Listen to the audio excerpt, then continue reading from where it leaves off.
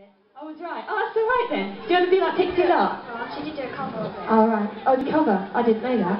There we go. There's my music knowledge for you. Okay, well done, Eve. Give her a round of applause. She did really, really well. Give her a round of applause.